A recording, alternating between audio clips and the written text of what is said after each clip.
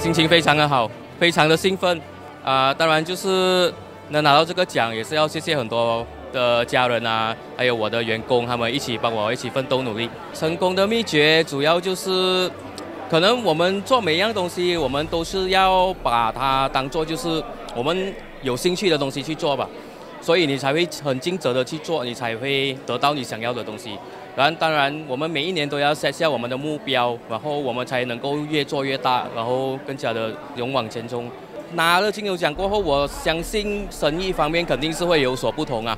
所以这些我还需要跟我的员工去商讨，然后看看我们这样子可以一起去再配合，拿到更高的荣誉。接下来。